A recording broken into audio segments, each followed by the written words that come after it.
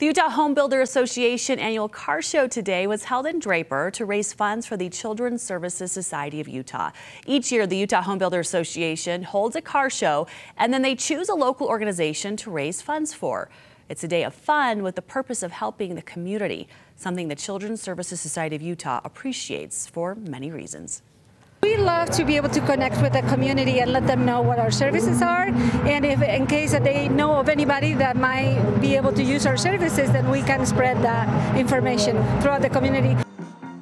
Children's Services Society is Utah's oldest nonprofit organization providing individualized services to those responsible for the welfare of our children. All the proceeds from today's event will go directly to helping aid their mission.